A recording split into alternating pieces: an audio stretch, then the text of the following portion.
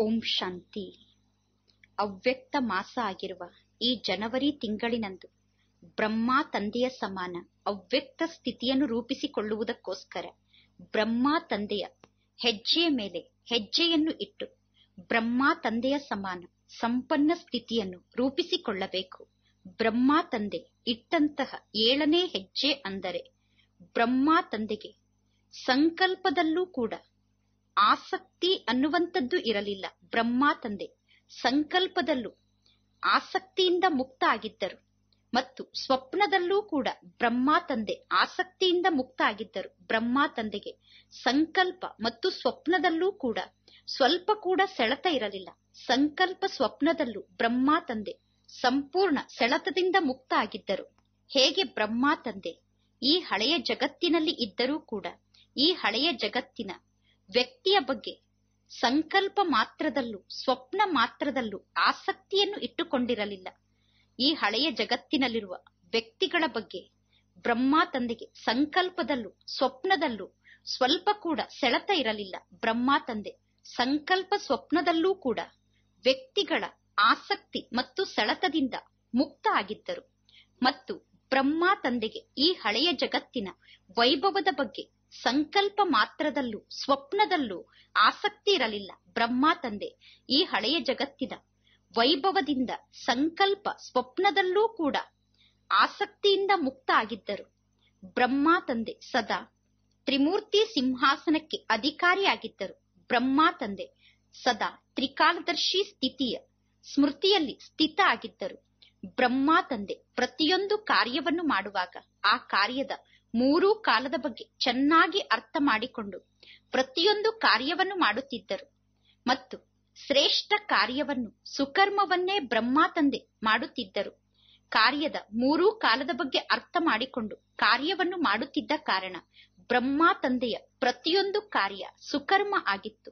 ಹಳೆಯ ಸಂಸ್ಕಾರ ಮತ್ತು ಸ್ವಭಾವದಿಂದ ಬ್ರಹ್ಮ ತಂದೆ ಸಂಪೂರ್ಣ ಭಿನ್ನ ಆಗಿದ್ದರು.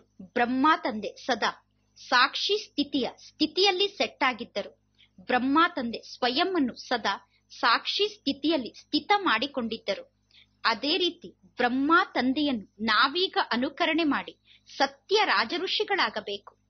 ಬ್ರಹ್ಮ ತಂದೆ ಇಟ್ಟಂತಹ ಏಳನೇ ಹೆಜ್ಜೆ ಅಂದರೆ ಬ್ರಹ್ಮ ತಂದೆಗೆ ಹಳೆಯ ಜಗತ್ತಿನ ವ್ಯಕ್ತಿ ವೈಭವದ ಬಗ್ಗೆ ಸಂಕಲ್ಪ ಸ್ವಪ್ನದಲ್ಲೂ ಆಸಕ್ತಿ ಇರಲಿಲ್ಲ. ಈಗ ನಾವು ಕೂಡ ಈ ಹಳೆಯ ಜಗತ್ತಿನ ವ್ಯಕ್ತಿ ಮತ್ತು ವೈಭವದ ಬಗ್ಗೆ ಸಂಕಲ್ಪದಲ್ಲೂ ಸ್ವಪ್ನದಲ್ಲೂ ಆಸಕ್ತಿಯಿಂದ ಮುಕ್ತ ಆಗಬೇಕು. ಬ್ರಹ್ಮ ತಂದೆ. ಸದಾ ಸ್ಥಾಪನೆ, ಪಾಲನೆ, ವಿನಾಶ ಅನ್ನುವಂತಹ ತ್ರಿಮೂರ್ತಿ ಸಿಂಹಾಸನದಲ್ಲಿ ಸ್ಥಿತ ಆಗಿದ್ದರು.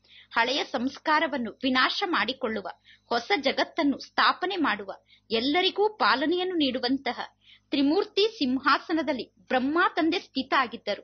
ನಾವು ಬ್ರಹ್ಮ ತಂದೆಯ ಸಮಾನ, ಹಳೆಯ ಸಂಸ್ಕಾರವನ್ನು ನಾಶ ಮಾಡಿಕೊಂಡು ಹೊಸ ಜಗತ್ತನ್ನು ಸ್ಥಾಪನೆ ಮಾಡಿ ಎಲ್ಲರಿಗೂ ಪಾಲನೆಯನ್ನು ನೀಡುವಂತಹ ತ್ರಿಮೂರ್ತಿ ಸಿಂಹಾಸನದಲ್ಲಿ ಸ್ಥಿತ ಆಗಿರಬೇಕು. ಬ್ರಹ್ಮ ತಂದೆಯ ಸಮಾನ, ನಾವೀಗ ತ್ರಿಕಾಲದರ್ಶಿ ಸ್ವರೂಪದಲ್ಲಿ ಸ್ಥಿತಾಗಿ ಮೂರೂ ಕಾಲದ ಬಗ್ಗೆ ಮೊದಲು ಅರ್ಥ ಮಾಡಿಕೊಂಡು ಸದಾ ಶ್ರೇಷ್ಠ ಕರ್ಮವನ್ನೇ ಮಾಡಬೇಕು, ಸುಕರ್ಮವನ್ನೇ ಮಾಡಬೇಕು. ಬ್ರಹ್ಮ ತಂದೆ, ತಮ್ಮ ಹಳೆಯ ಸಂಸ್ಕಾರ ಮತ್ತು ಸ್ವಭಾವದಿಂದ ಸಂಪೂರ್ಣ ಭಿನ್ನಾಗಿ ಸದಾ ಸಾಕ್ಷಿ ಸ್ಥಿತಿಯಲ್ಲಿ ಸ್ಥಿತ ಆಗಿದ್ದರು ನಾವು ಕೂಡ ಬ್ರಹ್ಮ ತಂದೆಯ ಸಮಾನ, ಸದಾ ಹಳೆಯ ಸಂಸ್ಕಾರ ಮತ್ತು ಸ್ವಭಾವದಿಂದ ಭಿನ್ನ ಆಗಿರಬೇಕು. ಸಾಕ್ಷಿ ಸ್ಥಿತಿಯಲ್ಲಿ ಸದಾ ಸ್ಥಿತ ಆಗಿರಬೇಕು ಮತ್ತು ಬ್ರಹ್ಮ ತಂದೆಯನ್ನೇ ಅನುಕರಣೆ ಮಾಡುವಂತಹ ಸತ್ಯ ರಾಜಋಷಿಗಳಾಗಬೇಕು. ಬ್ರಹ್ಮ ತಂದೆ ಇಟ್ಟಂತಹ ಈ ಏಳನೇ ಹೆಜ್ಜೆಯನ್ನು ಇಟ್ಟು ಸಂಕಲ್ಪ ಸ್ವಪ್ನದಲ್ಲೂ ಕೂಡ ಆಸಕ್ತಿ ಸೆಳೆತದಿಂದ ಮುಕ್ತಾಗಿ ಬ್ರಹ್ಮ ತಂದೆಯ ಸಮಾನ ಸಂಪನ್ನ ಸ್ಥಿತಿಯನ್ನು ರೂಪಿಸಿಕೊಳ್ಳಬೇಕು. ಸಂಪೂರ್ಣ ಸ್ಥಿತಿಯನ್ನು ರೂಪಿಸಿಕೊಳ್ಳಬೇಕು. ಬ್ರಹ್ಮ ತಂದೆ ಇಟ್ಟಂತಹ ಎಂಟನೇ ಹೆಜ್ಜೆ ಯಾವುದು ಎಂದು ನಾವು ನಾಳೆ ಪುನಃ ತಿಳಿದುಕೊಳ್ಳೋಣ. ಈ ದಿನ ನಾವು ಬ್ರಹ್ಮ ತಂದೆ ಇಟ್ಟಂತಹ ಏಳನೇ ಹೆಜ್ಜೆಯ ಮೇಲೆ ಹೆಜ್ಜೆಯನ್ನು ಇಟ್ಟು ಸಂಕಲ್ಪ ಸ್ವಪ್ನದಲ್ಲೂ ಆಸಕ್ತಿಯಿಂದ ಸೆಳೆತದಿಂದ ಮುಕ್ತಾಗಿ ಅವ್ಯಕ್ತ ಮಾಸದಲ್ಲಿ ಅವ್ಯಕ್ತ ಸ್ಥಿತಿಯನ್ನು ರೂಪಿಸಿಕೊಳ್ಳೋಣ. ಒಳ್ಳೆಯದು. ಓಂ ಶಾಂತಿ.